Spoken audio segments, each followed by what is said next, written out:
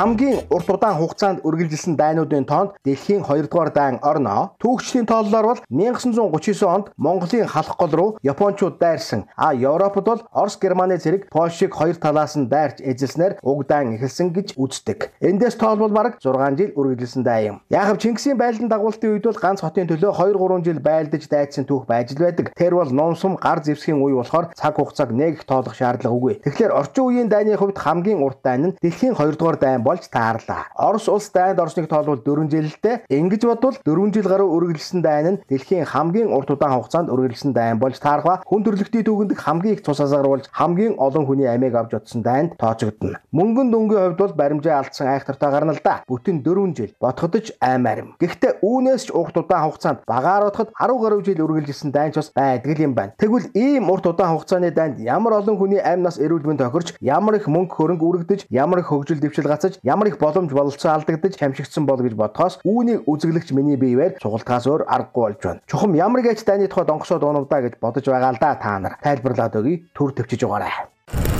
10 гаруй жил үргэлжилж байгаа энэ дайны утаатоос одоо ч биднийг бүрхсээр байна. Тэр дайны тоосонд та бид бөгшүүлэн ханиалгаж, бөхцөж, оцоосоор гудчиж гагчин бүдэрч гэлдэрсээр арыг гадан амьдарцгааж байгаа. Тэгэхээр энэ бол нүүрсний дайн болж таарлаа. Тиймээс энэ дайныг нүүрсний дайн хэмээн нэрлэх ёстой болохоо энэ нь багаар утгад 10 дахь жилдээ үргэлжилж байгаа аж. Баримтуудыг харуул энэ дайныг хоёр хэсэгт хувааж болох ажээ. Эхний хэсгийг цахиагийн элбэг дор чимээх этгээд удирдан эхлүүлсэн байхад бол элбэг доржийн дайн хэмээн нэрлэх нь зөв байх. Гэхдээ ямар ч дайнд шалтгаан шалтгаан болон захиалагч гэж байна. Яг л өнөөдрийн Орос Украины дайн шиг. Тэр дайн бол НАТОгийн захиалгаар Украины ард түмэн мянга мянгаараа амнасаа алдаж буй дайн билээ. Харин MCS Energy Resource-ийн захиалгаар элбэг доржийн эхлүүлсэн энэ дайнд монголчууд бид Монгол их хүүхэд Монгол үндэстэн тэржигтэй нэрвэгдэн чимээ аниргүй аим тавьж байгаа маш хорлонтой дайн юм. Энэ дайны буруутнууд нь Монголыг маань хятад зарж дуусгасан 30 гэрвэл мөнөөсөө мөн энэхүү 30 гэрүүлийн захиалгаар элбэг доржийн эхлүүлсэн дайныг л 2013 оноос Монголд дүрлжиж эхэлсэн байна. Энэ дайн мэдээж ард түмнээс дэмжлэг авахгүй нь ойлгомжтой тул тэд хятадаас тусламж өссөн ба өнөөдүүлэн ч идэвхийлэн тусалснаар Монгол улсын засгийн газрыг унгааж дөнгөсөн ч түүх байдаг ажээ. Яг л Сүүшүү жааны цэрэг Монголд орж ирж Монголын автономтыг түлхэн унгаасан шиг. Хятадтай нэлж Монголын засаг дэрийг унгаасан нь элбэгдэрж байх тул түүнийг гамингийн сүнс хэмээн тооцож Монгол Сүүшүү жаан хэмээн нэрлэх нь утгаараа зөв юм. Монгол Сүүшүү жааны тооцоосноор нүүрсний 1-р дан 2017 он хүртэл 4 жил үргэлжилж 17 оноос цааш түүний халааг Мие хэмээх данжаа залгуулж аваад 2021 он өнгөд бүрэн ялах ёстой хэмээн бодож төлөвлөн мөнгө цаас цэрэг зэвсгээ бэлдсэн байжээ. Тэр ч ёсороо Монгол сүүшүү жааны албатууд замдаа таарсан бүхнээ нухчин дарж эхэлснээр нүүрсний нэгдүгээр дан албан ёсоор эхэлсэн байна. Үүнийгээ тулд тэд цэрэг армаа бэлдэн тактик техникээ ингэж боловсруулсан байж. Авилгатай тэмцэх газрын дарга улсын ерөнхий прокурор улсын дээд шүүхийн даргыг ерөнхийлөгч санал болгодог. Шууд томилдгоо тийм үү? Их хурлаар ордог өөрөө тэр ярьцлаган дээрээ тэгж хэлж ин лээ. Би яаж энэ бүх хуулийнхныг атгахдгийг их хурл шийддэг. Би өөр зөвхөн санал болгодог, унгааж болно шүү дээ гэж. Тэгэхээр их хурл яагаад тэрийг унгаахгүй элбэг дөрж гэдэг хүний одоо санал болгосон болгоныг томилж өгд юм бол. Яагаад тийм байсан? 8 жил. Ер нь түүх нь бол ийм дээ. Манай элэг 9 онд ерөнхийлөгч болсон юм. Тэгээд юу харсан гэхээр яг тэр үед бол 9 онд бол ардын намын хурл олох байсан. Тэгэхээр их хурлаар оруулаад дээд шүүхийн дарга прокурор авилгатай нэмсгийн даргаыг гаргахын тулд их хурлын олонхтой ойлголцох хэрэгтэй. Тий. Тэр нь нийгэм бийгүүл. Аа. Тэгэхээр элбэг дор юу гэж яах вэ гэхээр за тэр дээд шүүхийн даргаыг солиод зоригтыг тавья гэж тавьж байгаа. Аа ардын нам олох байсан шүү дээ. 45 судалтай байсан. Тэд нар дэмжсэн, дэмжсэн. Дараа нь би дахиад хэлье. Манай дорлогч байгаа шүү дээ. Манай дорлогч арчс намж дарга хийжээс арчлын хүн биз дээ. Тэгэхээр элбэг доржийн хамгийн газрын дарга хийж яхад нь ардын намын олох байгаа их хурл руу оруулаад прокурор болгож байгаа дээ. Тий. Гэхдээ тэгээд ардын намтай зогцохгүйгээр миягомбын хулдтай найзлахгүйгээр тэр хонглынхаа өрөөсөн баг нь болгохгүйгээр яаж тавьдгийг. Одоо энэ үргэлжлэн байгаа шүү дээ. Авилгатай тэмцэх газрын даргаыг сольж чадахгүй нь. Чадахгүй шүү дээ. Одоо Баттулмаар ус үнийг ганц коноптол унлаа шүү дээ. Энэ манай ерөнхийлөгч өрөөс бүх хүмүүс олж байгаа шүү дээ. Тэгэхээр яа гэв. Тэгэхээр элбэг дорчиг тэнд баг олж авсан. Элбэг дорч бол баг олцсон байхгүй. Тэгтээ бас их нэрийн тавьж байгаа хүн нь эсвэл илүүгийн хүн байна эсвэл миго минколтой хүн байна. Тэгэхээр дээчүүгийн дарга өөрийнхөө хүнээр тавилаа зоригт. Аа прокурор нь бол манай төрлөгжөөг тавилаа. Тэр нь бас манай ихээс илүүтэй одоо элбэг дорж хүн. Дараа нь авилгатай тэмцэхийн дараагаар гамболдыг орлогчонд хурцыг тавилаа. Ингэж хийж байгаа шүү дээ. Ингээд бүх юм ингээ сайхан хавлаа бариад авчиж байгаа. Чи одоо хэнийг хаашаа гаргах юм? Юм яриул авилгах тэмцэгтэр хэрэг үүсгэн. Прокурор зөвшөөрлөг нь цаашаа шүүхээр оруулна. Шоронд хийн ял өг. Хонгол гэж энийг хэлж. Ингэж л тэд 2010-аас 2012 онуудад нүүрсний 1-р дайнд эдвхийлэн бэлдсэн ба 2013 онд дайныг эхлүүлж төгс ялтанд хүрэхин тулд замдаа таарсан Монгол хүн бүрийг нухаж эхэлсэн байна. Энэ дайны үндсэн гол зорилго нь болж өгвөл Монголын бүх баялагийг тэр дундаас 5 толгойн бүлэг ордыг тэр жигтэнд болоож авах явдал байлаа. Хамгийн жигшүүртэй нь Монголын маань орд газрыг булан авч хятад зарахын тулд тэдэнтэй нэгдэж үгсэн тохирсон явдал нь Монгол хүний хувьд хязгаарч уужилж болсгүй хорсол занал төрүүлсэн үйл явдал байлаа. За Эрдэнэт дээр тийм санал тавьж ш таван толгой дээр тань санал тавьсан юм шүү харин би тэгж бодсоо. 11 онд манай засгийн газар огцорсны дараа таван толгойн гэрээ юу болж орсон гэж төрийн өмчийн таван төрийн өмчийн Эрдэнэс таван толгой алга болоод тэгээд шинхва тэгээ эмсээс өөр орж. А танаа хийснээрс өөрчлөгдсөн юм уу? Засцсан юм уу дунд нь? Гэхдээ алтан өгч нүгэнд нь орохгүй өөр юм хийсэн учраас огцрол үстэй. Тэгээд манайхыг огцруулад Дараа нь тэр хөл Шинхад 30 жилээр. Тий. А тэгээ тэрийг нөгөө их хурлын дарга инх хол зогсоож ирсэн шүү. Тэгээд их хурл дээр бахан маргаан болоо зогсож ирсэн тэр шүү. Тэгэхээр таван долгон байр суурь нь ойлгогдож байна бидний. Ойлгогдож байна. Одоо л сонслоо. Бид Тэрнээс тэр шинхад өх гэрийг таны хийсэн гэж бодчихсон. Үгүй. Тал тийм аймаар юм хийж өгсөн байх гэж бодчихсон. Үгүй үгүй яа л гэж. А тэгээ сайхан бэлэг гүйцээсэн юм уу? Аймаар юм хийж өгсөн бол би юу гэж огцорч явах вэ? Тэгэхээр надад ямар сонголт ирж байгаа гэхээр энэ одоо одоо ард түмэн эх орны тусын тулд юм хийх юм уу? Эсвэл энэ газрын дорх баялагийг идэх гээд байгаа хэдэн хүн зориулж юм хийж өгөх юм? Бүлэглэлд үйлчлэх юм. Тий, би бол бас жаахан гөжөөд хөжтэй тийм юм дээр бол хийхгүй. 2012 оны сонгуульд орохдоо арчилсан юм 5 толгойн ард түмдээ өгнө л гэсэн. Баяр цагт инх сайхан хоёр болохоор таван толгойг МСС-д бэлгэлжээ. Шинхойд бэлгэлжээ.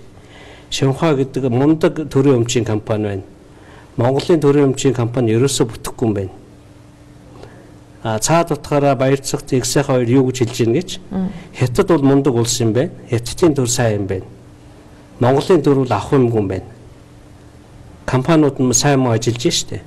Тэгэхээр сайн ажилдаг хятадын төрийн компанид өгчөөл гэж орж ирсэн. Тэгэхээр нүгвэ. Тэр Эрдэс таван толгойн дарах чинь сайн муу юм байж болно. Механизмыг сайжруулахгүй да. Яахаар ард түмний өмчөө бэлгэлэх гэж яваад байгаа юм гэж тэгжил юм зогссон шүү. За энэ бол нүүрсний 1-р дайны эхний хэсэг байсан аж. Тэд 5 толгойн бүлэг ордыг үндсэндээ бараг эзэлж аваад зөвхөн тугаа хатгал үлдээд байж. Үүнийхээ тулд Монгол улсын засгийн газрыг огцруулсан ба түүнийхээ тулд мөн жолон гэм зөмгөн хүмүүсийг барьцаалан авч шорон гянд чихэж байцааж тамлаж хамгийн муу муухай бүхнийг гүйцэлдүүлсэн дайн болон өргөжжээ. Яг л харийн цэрэг шиг. Ингэжилтэд тусгаар Монгол улсын засгийн газрыг түлхэн унгаж 5 толгойн бүлэг ордыг хятадын шинхуад өх бүхэл бэлтгэлээ хангаад зөвхөн гарын үсэг зурхал үлдээд байсан юм. Хэрвээ тэд энэ дайнд ялалт байгуулж энэ энэ асар том ордыг хятадуудад өгчгөл юм бол нүүрсний дайн бараг үүр зогсох байсан ч монголчууд биднийг 300 гаруй жил өлгөн дижажих орд газар үүрд баяртай болох байлаа. Чухам үүний төлөөлтөд монголчуудаа дайн хийсэн, үүний төлөөлтөд монголчуудаа барьж хорж байцааж тамлаж байсан байна. Монголын түүхэнд ийм бузар булаа жигшүүр гудамжтай юм 100 гаруй жилийн өмнө тохиолдож байсан ба үүнийг тухайн үеийн монголчууд богц богц мөнгөөр богдоо худалдсан сайдууд, уут уут мөнгөөр улсаа худалдсан сайдууд юм харуулсан харуулсан дуулдаг байжээ. Энэ явдалч бас түүхэнд тэгжил үлдэнэ. Гэхдээ энд нэг том ялгаа бий. Тухайн үед улсыг маань хөдөлсөн Богд хаант Монгол улсын ерөнхий сайд Шанзав Бодовд орж 30 мянган лам мөнгөөр, гадаад иргэн сайд Балингийн цэрэнд орж 20 мянган лам мөнгөөр гамин цэргийг урьж Монгол цэргийнхээ зэвсгийг хураалган бууж өгснөөр Монгол орон түүхэндээ анхудаа хятадын цэрэгт эдлэгдсэн байдаг. Гэхдээ монголчууд бид 2 жилийн дараа гамин цэргээс улс орноо бүрэн чөлөөлөө зогсохгүй тэднийг нутаг орноосоо үүрд хөөж явуулсан билээ. Харин түүнээс хойш 100 гаруй жилийн дараа тусгаар Монгол улсын бүх ард түмнээс сонгогдсон ерөнхийлөгч болсон хүн их хурлын дарагтайгаа нийлэн улсаа худалдаа улсаар ард иргэдээ яргалж ирсэн үнэхэрийн итгэхэд бэрх Монгол улсын хувьд хязгаарч ярилшгүй түүхийн хар бараан бохир толб болон үлдсэн нь асар муухай гудамжтай үйл явдал юм а. Монголын бүх ард түмний итгэлийг хүлээн сонгогдсон хүн гэтэл тэр шүү дээ. Гэвч түүний хүслээр болсонгүй монголчууд 5-7-оо хамгаалan эсэргүүцэж зогссон тул Монгол сүүшүүжан хэмээх гудамжтай жижигхэн тэр итгээд монголчууд руу ахин гал нээж эхэлсэн байдаг юм байна. Үүнээс хойш том жижиг олон тулаан болж тухай бүртээ хятадуудын нэмжлэгийг авсаар бараг л ялалт байгуулах шахсан ч дайны явцад санаандгүй өөрчлөлт гарч Халтмаагийн Баттулга гэдэг хүн сүүшүүжан элбэгд оржийн оронд ерөнхийлөгч болон сонгогдож гарч ирснээр нүүрсний нэгдүгээр дайн төр зогссон байдаг. 100 гаруй жилийн зайтай болсон дээрх хоёр явдалд ижил төстэй нэг тохиолдол байна. 1919 онд Хятадын гавийн цэргийг өрн авчирч улсаа буулгаж өгсөн Шанзав Бадамд оржин Монгол хүн байсан бол гадаад иргэн дэд сайд царинд оржин Хятад гаралтай хүн байжээ. Түүний бүтнээрийг монголчууд бид Балингийн царинд орж гэж дуудагч үнэн хэрэгтэй Баалин овогт царинд орж гэж этгээд байсан юм. Тэгэхээр өнөө цагт бол Шанзав Бадамд оржийн үргийг Монгол хэмээх ургийн овогтой хэдий ч гарал үүсэл нь маш эргэлзээтэй захаагийн элбэгдорж гүйцэтгэж Баалингийн царинд оржийн үргийг Мие анхвал хэмээх сайтар монголчсон хятад хүн гүйцэтгэсэн байдаг нь түүх давтагдсан хэрэг байх нь ойлгомжтой болж байгаа биз. Ер нь бол 5 тулгааг эзлэн авч хятадуудад өгөх нүүрсний дан ангижил 2013 оноос эхэлсэн ба яг 10 дахь жил рүүгээ орж буйн оны өмнөх үйл явдлуудаар тод харагдаж байгаа юм. Тэгэхээр Монгол дахь нүүрсний дан дэлхийн 2 дугаар дайнаас ч урт удаан хугацаанд үргэлжилж байгаа дайн болж таарах нь ойлгомжтой. Энэ урт удаан хугацаанд үргэлжилж буй дайны явцад дайныг үүсгэх сүүшүүжэн элбэгдэрч MCS Energy Resource-ийн гидсэн хагартал байдсан бол баялагын жинхэнэ эзэд болох язгуу язгуурын монгол хүн та бид нүүрсний утаанд бөгшүүлэн ханиалгаж бөхцөж оцоосоор гудчиж гахчин бүдэрч гэлдэрсээр чадан ядан өөхөлж цалингаас цалингийн хооронд өөр шир 50 50 чадан ядан ам зугчаа болж яваалаа. Харин тэгтэл Нүүрсний дайныг эхлүүлсэн новчнууд шоронгийн ялтны ялыг дээд шүүхийн шүүгчдээс 6 тэрбум төгрөгөөр худалдан авч наранд гар гаруул барам тэр ялтныхаа харманд 6 тэрбум төгрөг хийж өгтлөө баядсан байгааг юу гэж үзэх юм бэ? Утаа гисгээр гадаад руу нисээд явчихдаг. Утааг үзэн болохоор Монголд маань яриад нислэг тэргээр морь даган зугаацдаг. Нүүрсний дайны эзэд жухам яасан дээлдэггүй гамингууд гэхээр ийм байдаг үлээ. Угаасаа дайныг захиалагчтал баяждгаа гэдгийг дэлхийн бүхэл цаг үеийн дайн байлдаануудаас харж болох ба үүнтэй яг адил нүүрсний нэгдүгээр дайнд хэн хожиж хэн баяжсан бай гэдэг нь нүдэн дээр мань ээлт байгааг та бид харсаар л суун. Энэ дайн болоогүй бол ийм дайн дэгдээгүй бол Монгол хүн та бид ядчил утаагүй хотод уушиг цэвэр алах байлаа да. Гэвч угаартан мөхөжгүй хотыг маань утаанаас салах мөнгийг нүүрсчдийн өдүүлсэн тэрэлдэн залгичаад байгаа юм. 3 сая монголчууд бид 30 гэр бүлийн цөөхөн гамын зэрэгт энгэн энгэн дарлуусаар суух гэж үү. Энэ тухайга та нэг бодож сэрэхгүй юм уу? Аз жаргалтай, эрүүлэнх, сайн сайхан амьдрах боломж өмнө чинь байсаратал нүүрсний дайнд нэрвэгцээр нэг нэгээрээ хүч орогдон ганц ганцаараа шорон гянданд чихүүлсээр байх гэж үү.